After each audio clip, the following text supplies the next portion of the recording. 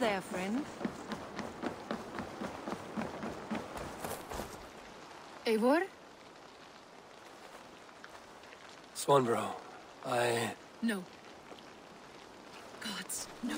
Don't say it, please, Eivor. Don't say it. I am sorry. Oh! My home. No. My poor swan. Oh, gods.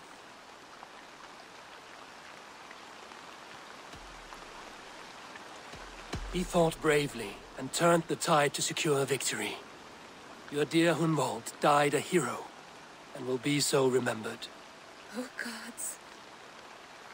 I know he would have fainted to hear such praise from your lips. Thank you, Eivor.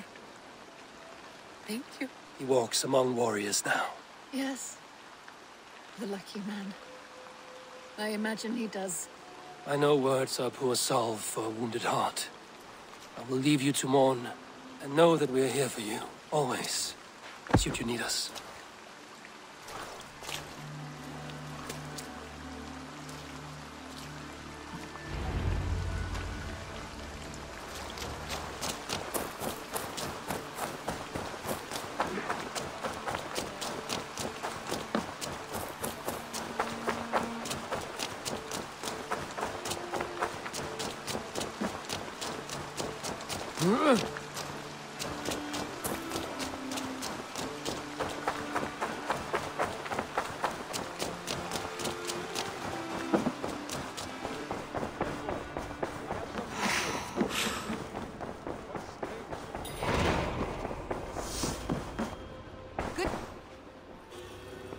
Hamtunscire has fallen, and with it the Kingdom of Wessex.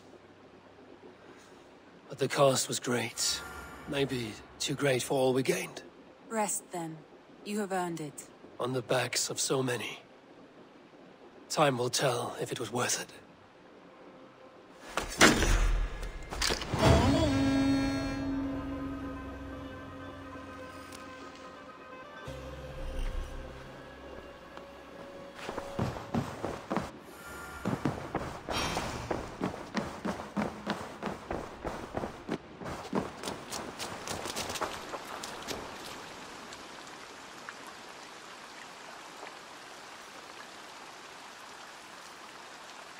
Something for me. What is it? A letter requesting your presence in the southwest, a village called Athelney. Nothing strange about a summons for me, is there? It is not the recipient I find strange. It is the sender. The letter is signed a poor fellow soldier of Christ. Ah, our mysterious partner. For a short time, I hoped it might be Basim feeding us the names of these targets. He seemed the most likely man, for a time. Only one way to discover the truth. Thank you, Hytham. I will take care of this.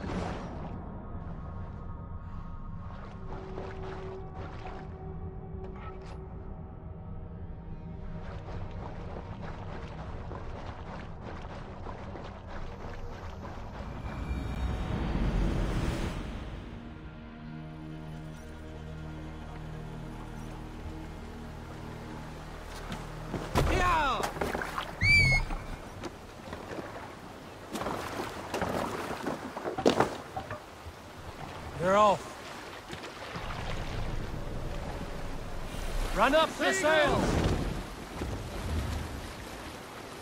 Sing us a song.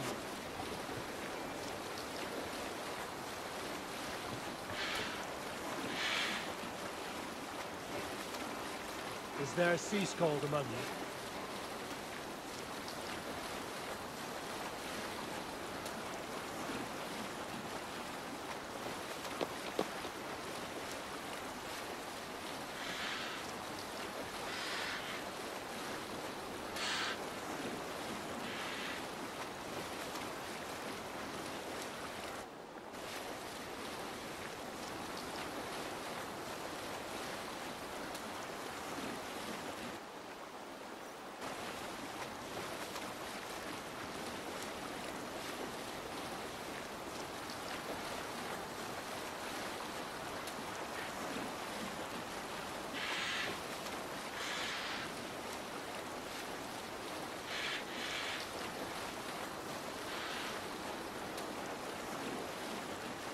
Set sail! Stop that!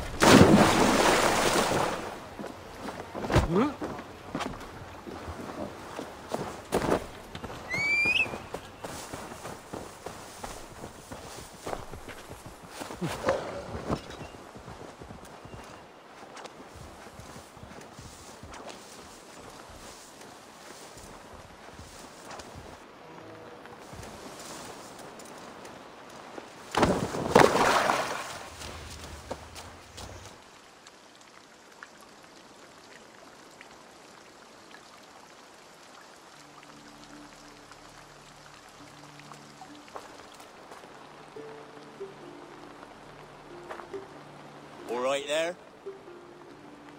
Yes, hello.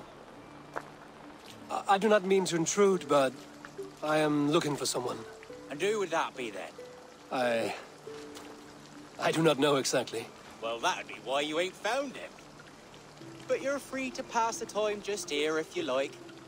Thank you.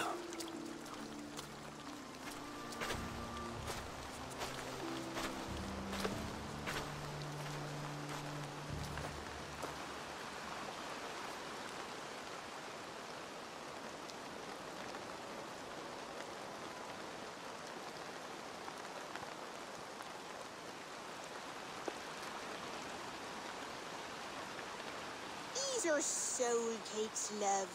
Do you know soul cakes? I do, I enjoy them.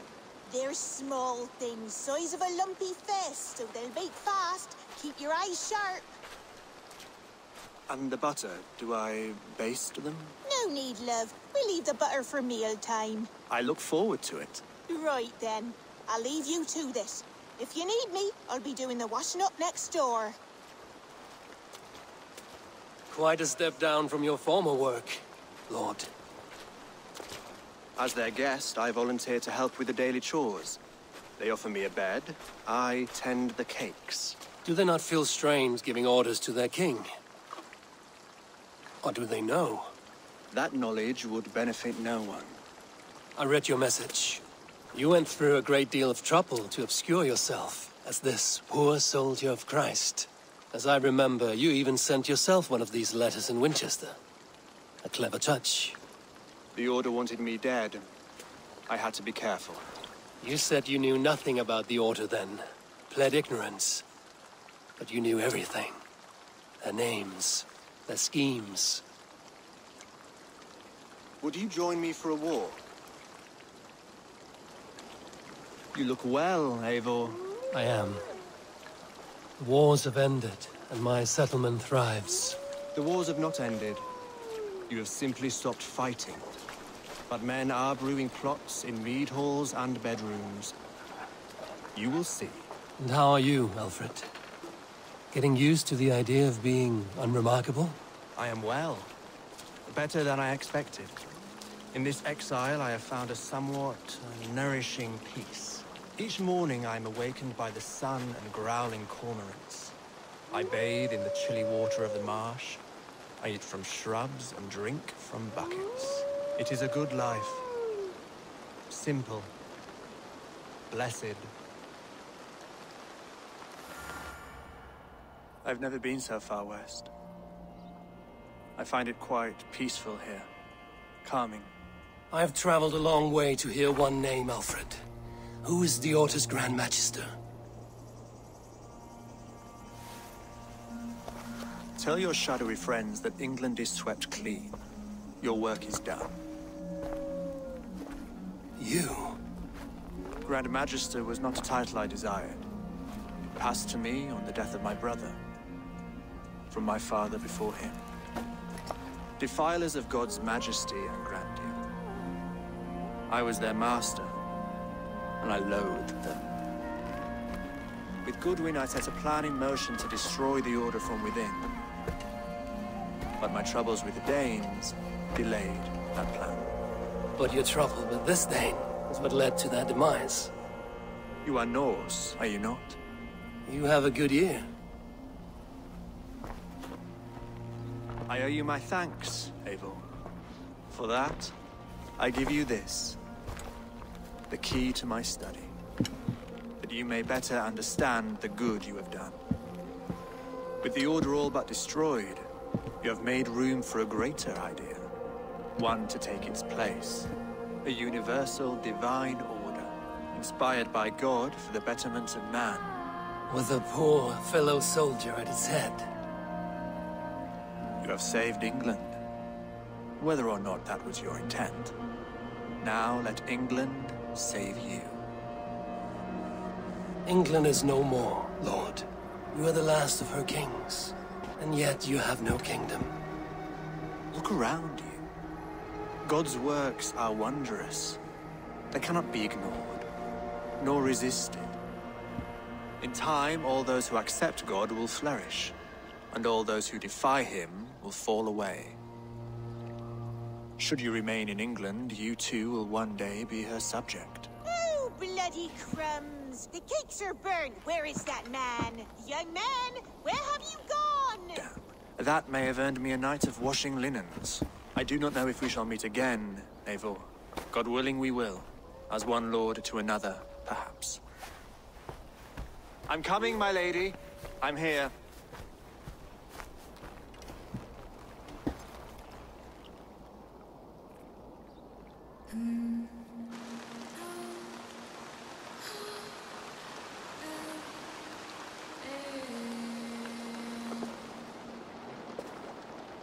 Alfred gave me a key to unlock his study.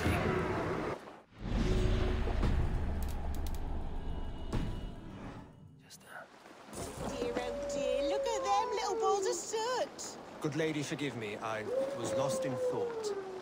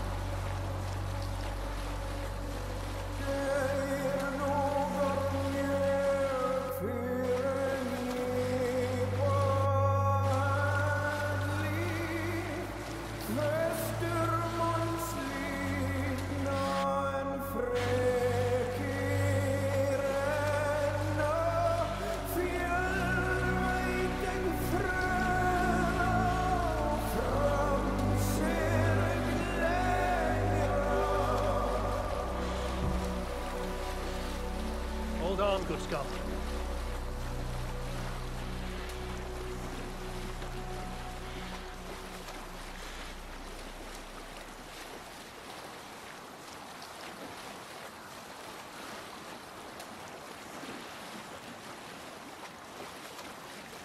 You salt skulls, got a story? In the early days of the feud between Kjotve the Cruel and the Raven clan, there was a mad berserker called Kiar Robo. Kiar had pledged his battle fury to no king or jarl, and would give his oath only once each winter, for reasons nobody could fathom. One year, Kiar's sister, Thora, was married to Kjotve's brother, Alrik. And soon Kiar was often seen in the company of that clan. But soon after, word came to Kiar that Alrek had abused his sister. When he asked Thora about this, she told him, it is true. So Kiar invited Alrek on a hunting expedition. When they were away, Kiar slew Alrek and pulled off one of his arms. We will pick up from there. I should talk to Hytham. Sail out! So Kiar invited Alrek on a hunting expedition.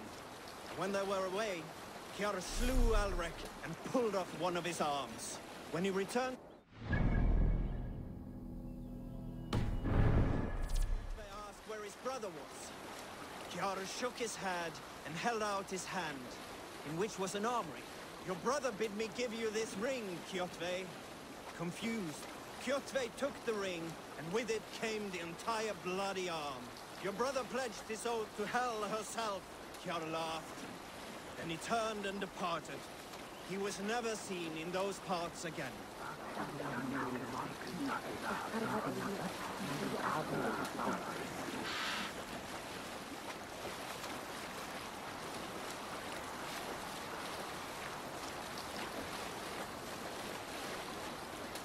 Strike up a tune.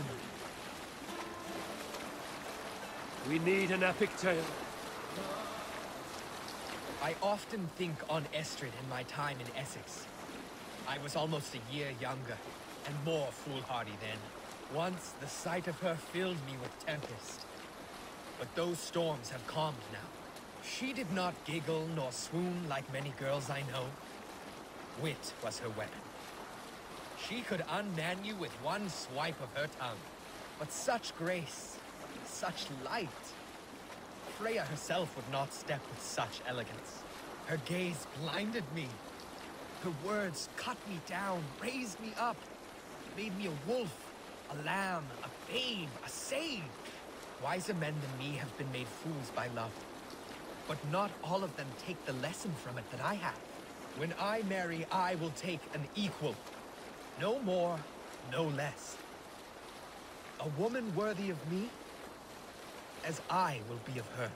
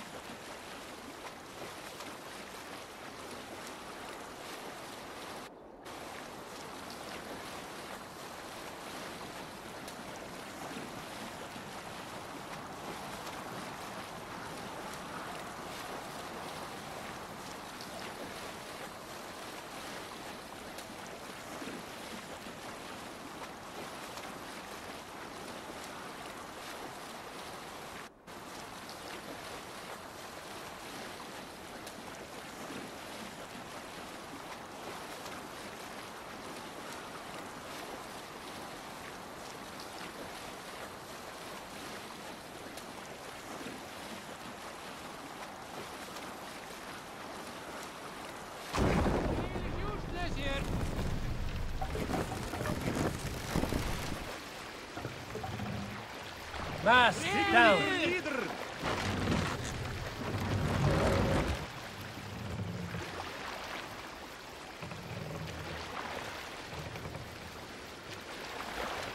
Set the mast up.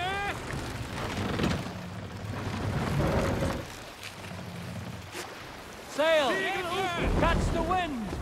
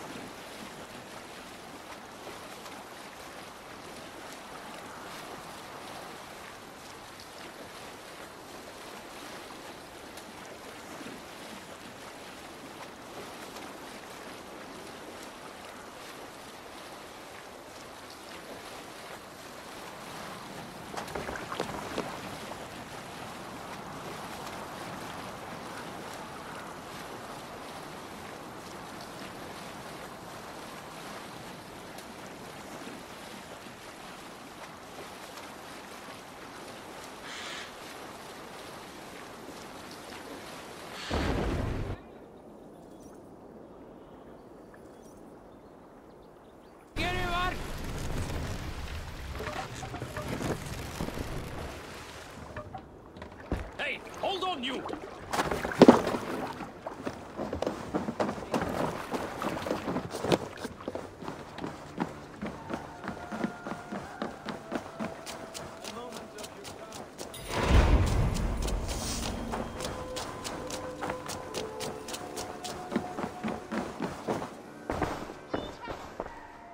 Eivor, did Basim contact you in Norway? He said he would be joining you.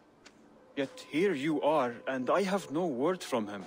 Hytham, this will be hard to hear, but Basim attacked us in Norway. Vengeance for some transgression of ours, imagined or real. You mean... You mean you slew him yourself? Sigurd and I, together. I know this comes as a... I do not understand. Why would he do such a thing? He loved Sigurd, he loved you. I do not understand it myself. Perhaps one day we can speak about this with more clarity. But for now, I am deeply sorry. Godham is dead, nameless and alone across the open sea. A master of the Order hewn from the trunk of their dying tree. You are getting closer to the roots. Here you are, Hytham. The last of the Order's sigils. You will find King Alfred's among them. King Alfred? Did our poor fellow soldier lead you to his hiding place? He did, for they were one and the same. Our poor fellow soldier of Christ was the Grand Magister of the Order of the Ancients. He turned on his own order. Fascinating. Not turned so much as trampled. His devotion to Christ and what he calls a universal order set him against them from the start. With all sincerity, he loathed the title and the duty he had inherited and wished them destroyed. Wonderful. With his abdication, the last stronghold of the Order has been dismantled. All that remain are scraps here and there. And you, Eivor. Now that you have seen our enemy and you understand our cause, I wonder if you would join us. Become a hidden one. Was this your ultimate goal, Hytham? A trial by fire? It is a kind offer, but I do not believe we fight for quite the same cause.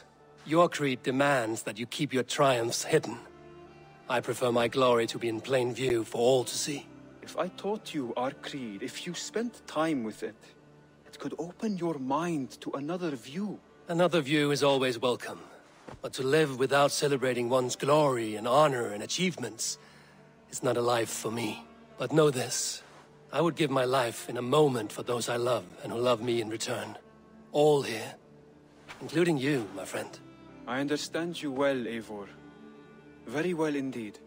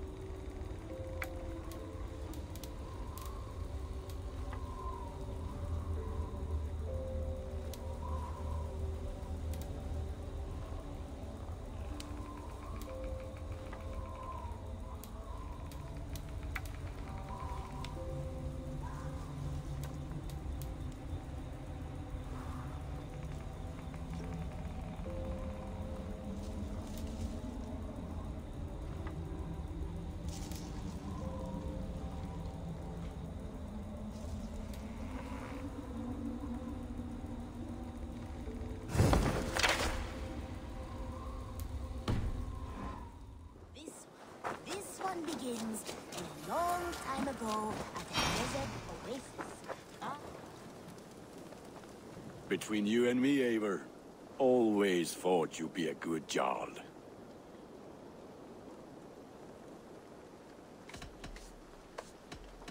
About you and Bridget. When do you wish to be wed? The sooner I can make her my wife, the happier I will be. But we are fine to wait until everything has settled here. Enough waiting. Cool your forge and cover your anvil. Let's get you married. Wonderful. Shall we gather everyone? Gather your wife and your courage. I will bring the people together.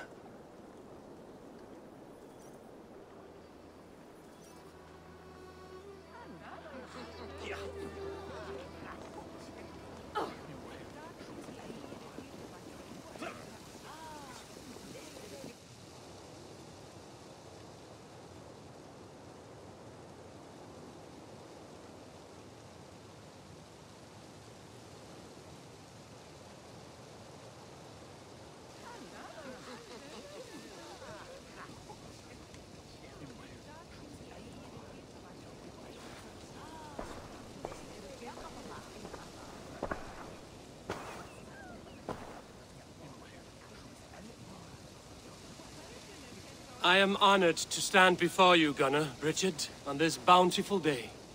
To celebrate the strength of your bond and to see you wed.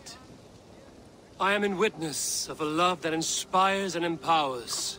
I invite you now to speak your vows.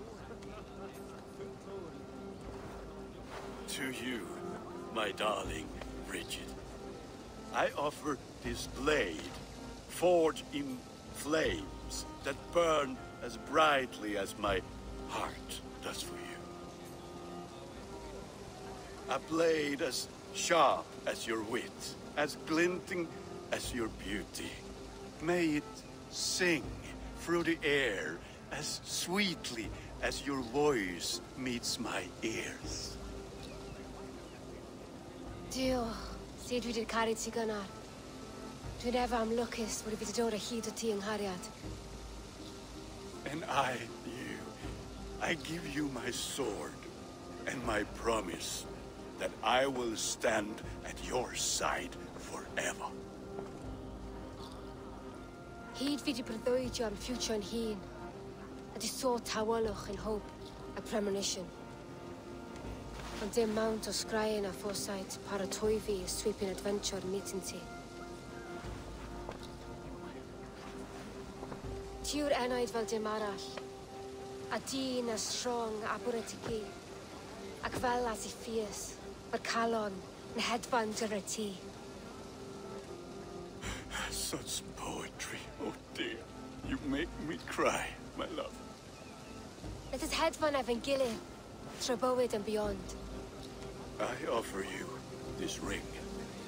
And take yours in kind. I will wear it with pride and honor, warmed by the love of so perfect a lady. And I gwisgo fe fel calon, adoration a ffydd and myth. This is the greatest day of my life. Embrace me, my love.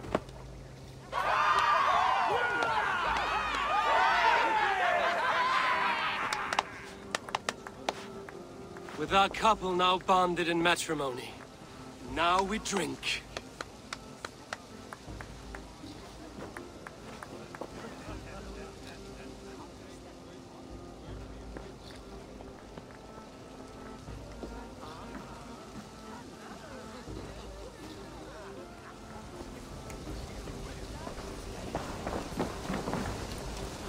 Alvis, I'm surprised you did not serenade the bride and groom with a verse or two. Oh, I wished to, I did. But all that came to me were insults and jibes. Another time, I think.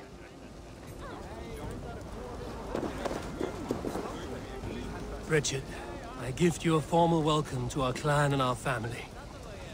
You are a fine addition to Gunnar's life and to ours. Diolch Eivor. I couldn't be more hapus i bod yma. Hope i nabod ti well yn y cys misoedd the years. Yes, of course. I, uh... As I say, it is wonderful to have you. Gunnar, you old trout. You're a married man. Never thought I would see the day. Nor did I. And not for lack of trying.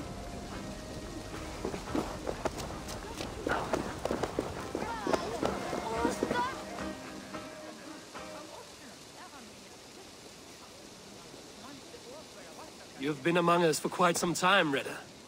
Are you ready to settle? Make a home here? For a year or two, perhaps. But I am not the settling kind. I am a wanderer, always searching, never finding. Maybe one day.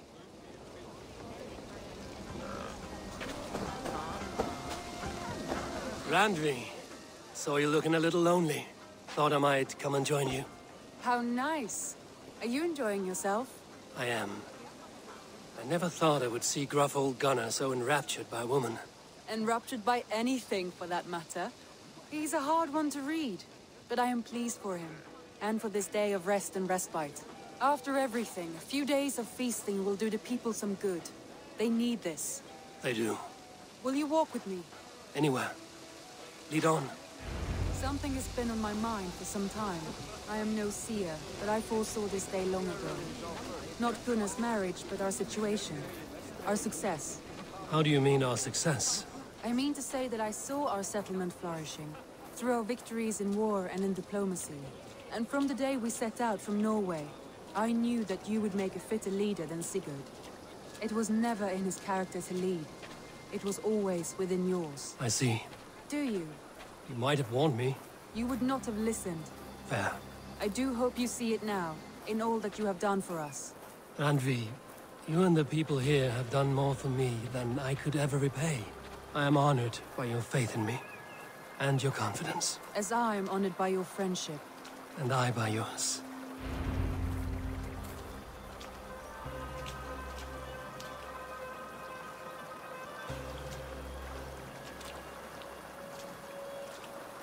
Eivor, I want you to know that Sigurd and I are... We are severing the bonds of our marriage.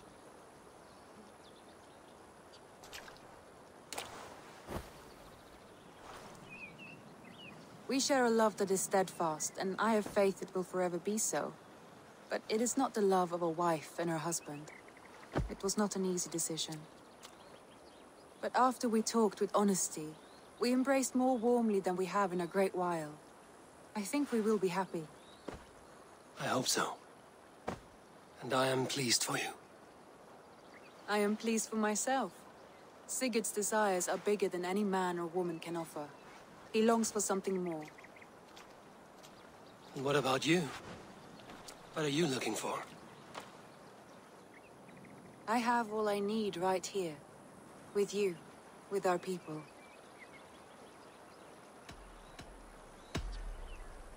I want to say, Randvi, I love you, and I have for some time. I did not pursue it, not wanting to betray my brother's trust. But that does not mean I did not desire it. Does that surprise you?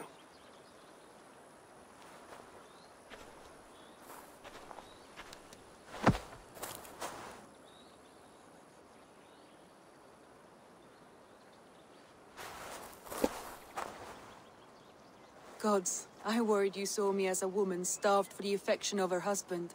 That it was loneliness driving me. But it was you, Eivor. Only you. Everything you are, everything you will become.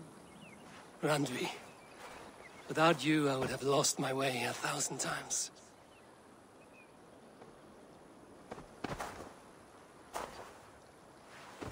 I never told him outright, but I doubt he will be surprised. I think he may have suspected it even, some time ago. If he suspected it, he never said anything. He is more observant than I often give him credit for. I believe he sees us as we are, and as we hope to be. We can wait to tell him. Give it a few days, when the feasting is over and everything is settled. Agreed. I have waited long enough for you, and you for me. What is another few days? The blink of an eye.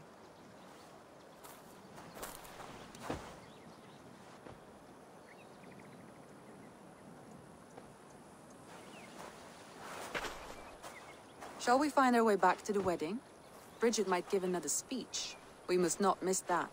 About that, I have not understood a single word of hers since Gloucestershire. Really? I find she speaks beautifully. With poetry, even. Are you kidding? Am I? Come, we should go.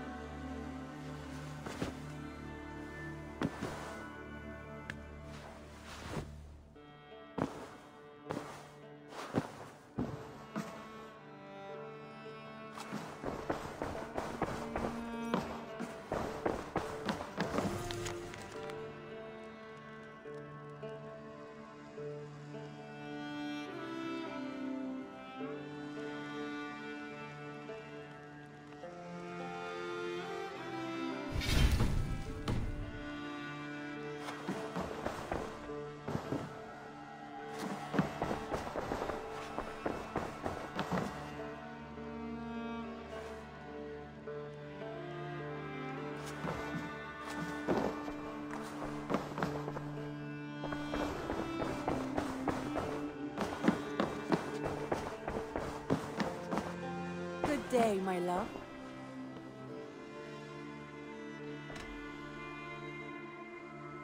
Should we take this to your chamber?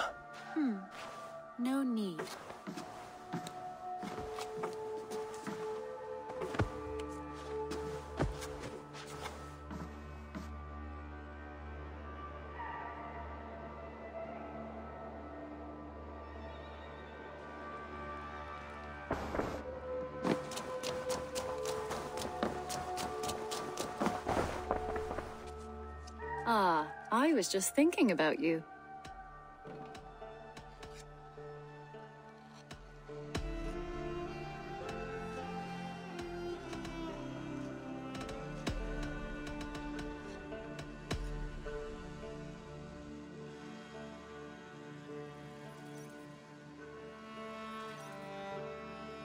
Just came to give you a kiss. How sweet of you, love. Come here.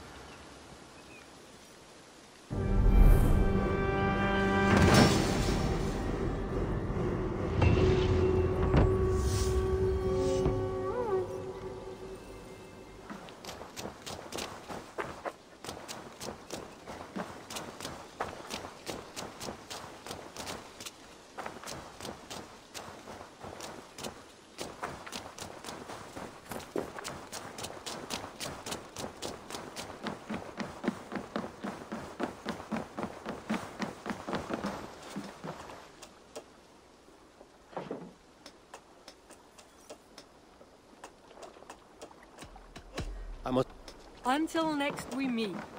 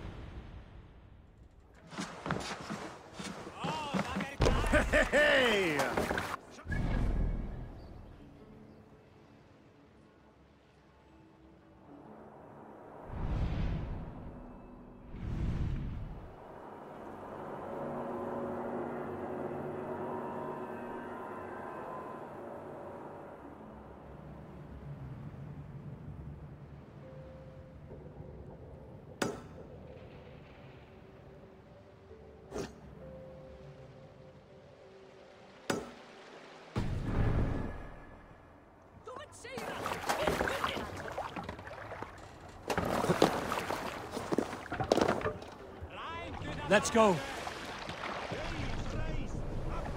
Sail! Catch the wind!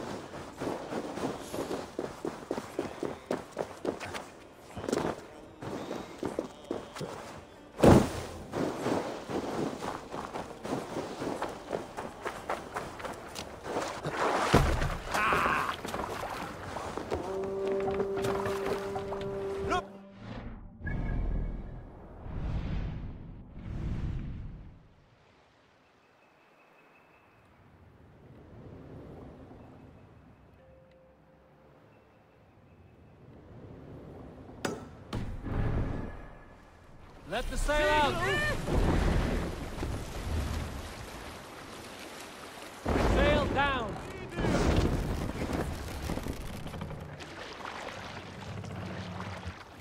There! Run up the sail!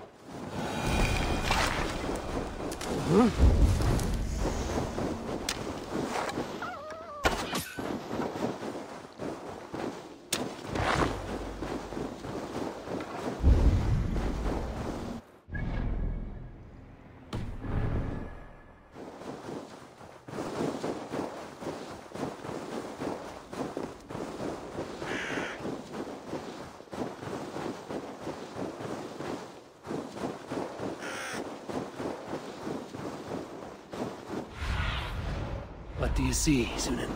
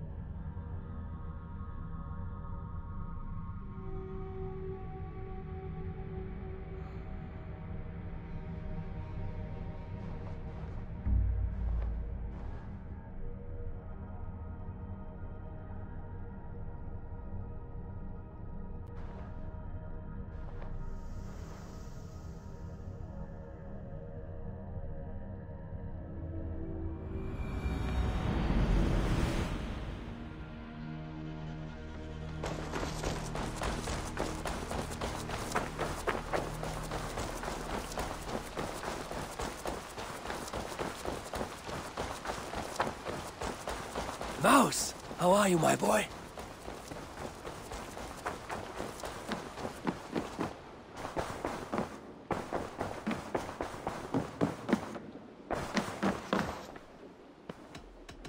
I want to...